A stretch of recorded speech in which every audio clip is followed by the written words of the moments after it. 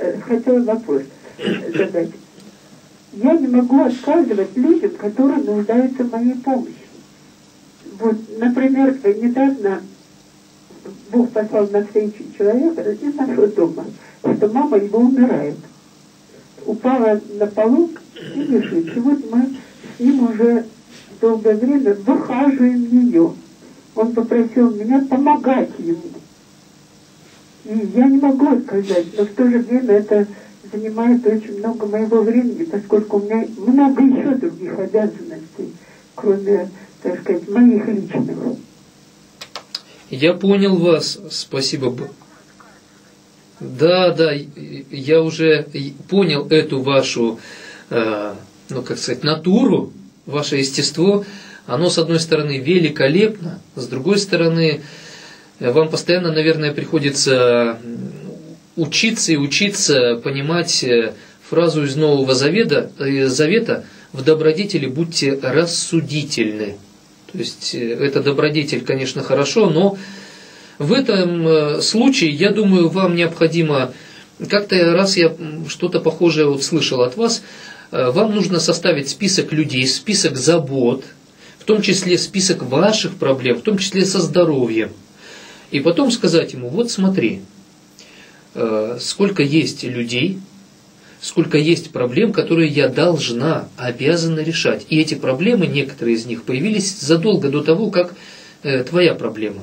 Поэтому ты можешь на меня рассчитывать только вот столько раз в неделю. Допустим, два часа в неделю я смогу приходить. Или раз в три дня по одному часу, не более. Иначе, если ты хочешь получить от меня больше, тогда давай подумаем, как ты будешь помогать вот в этом, в этом и в этом. я тогда смогу больше времени уделить. Но тогда и ты, либо твои друзья. Вот э, тут только так э, нужно решать проблему. Вы знаете, мне кажется, что каждый раз просто Бог сам посылает мне такое испытание. И Он же говорит, что не дам тебе выше сил. Но смотрите, когда Бог, действительно Он не дает сверхсил э, всем людям, неважно, верят они в Бога, не верят, но когда он так говорит, я не дам тебе сверхсил, он дает нам, во-первых, способность верить в это, но э, написано, а по уму вы будьте совершеннолетние. Это ведь тоже сказано в Новом Завете. Помните эти слова, да? Да, но дело в том, что Бог хочет, чтобы мы были как дети, но, по, так сказать, по, по какому признаку? Не такие доверчивые, вот именно, что доверчивые, добрые, любящие, без всяких, так сказать, корыстей, корыстных целей. Но это мы. Это мы действительно это мы да, действительно должны быть такими. И эта детскость, она нас защищает. Но мы должны понимать, что общаясь с людьми, у людей вообще может э, не быть таких ценностей, как у нас. Они могут по-другому думать, и в каждом из нас есть греховная плоть, о которой, опять же, сказано в Библии, то есть часть нашей натуры заражена настолько, что мы не можем быть идеально, как дети себя вести, то есть мы совершаем какие-то ошибки. И другие, они ведут себя так, что наша любовь, вот, например, опять же написано, Бог, кого любит, того наказывает. Почему наказывает?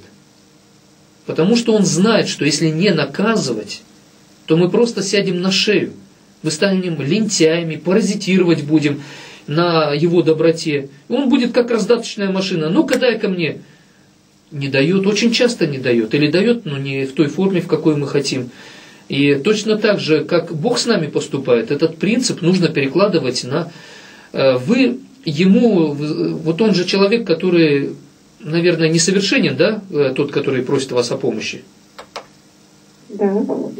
Да, и вы ему помогаете, и это означает лично для меня, что вы как Бог, который посылает дождь на праведных, неправедных, верующих, неверующих, на маньяков, педофилов там и просто великолепных людей по образу жизни.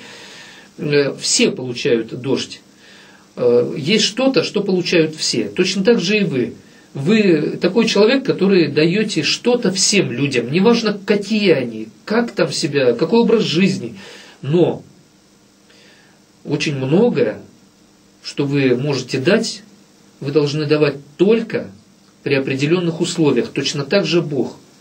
Даже нам, людям, которые верят в Него, которые стали для Него как родные дети, потому что мы поверили, мы исполняем заповеди, мы приняли Христа в свою жизнь, даже мы и то не получаем столько, сколько хотим, или сколько просим, или, э, ну и так далее. А почему? Опять же, вот этот принцип. Мы не всегда ведаем, чего мы хотим. Поэтому в добродетели будьте рассудительны. Я думаю, что мир, в котором мы живем сейчас, он настолько пропитан хитростью, лукавством, э, каким-то таким стяжательством там, или любостяжание, или вот это вот э, себелюбие, эгоизм. Это настолько вот распространено, то есть сейчас утрачены многие традиции, преемственности из поколения в поколение. Вообще каждый поступает как хочет. И буквально мир разрывается. Вот это террористический акт в Осло произошел почему? Потому что этот э, Брейвик, который убил э, кучу молодых людей, потому что он, вот ему идея пришла в голову. И плевать он хотел, что как там чего, эгоизм, себелюбие. И в этом смысле добро сегодня нужно делать очень осторожно и дозированно. Учить людей получая добро, ценить его. Мне кажется, что вот э, вам придется постоянно этому учиться, потому что вы очень добрый человек. И вам очень тяжело справиться с этой силой доброты, которую буквально могут использовать э, со стороны, да, кто-то. И вы где-то незаметно для себя просто потому, что вы альтруист, вы настроены, вы заряжены, вы человек мира. Но когда Христос уходил с земли, Он своим ученикам, помните, сказал, а теперь возьмите меч, а теперь возьмите вот то, другое. И когда военные подходили и спрашивали, а нам-то что делать?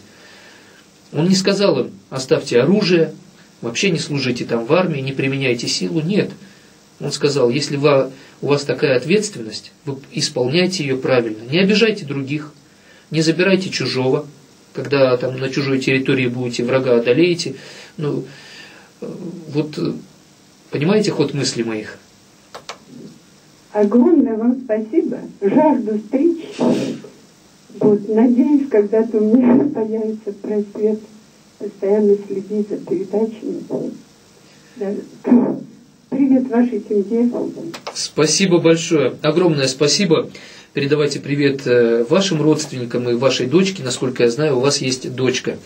Прямой эфир «День до».